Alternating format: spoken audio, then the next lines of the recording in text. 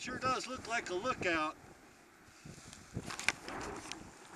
There's hardly any forest to watch out for.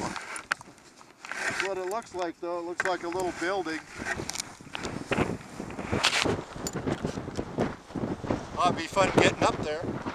Yeah.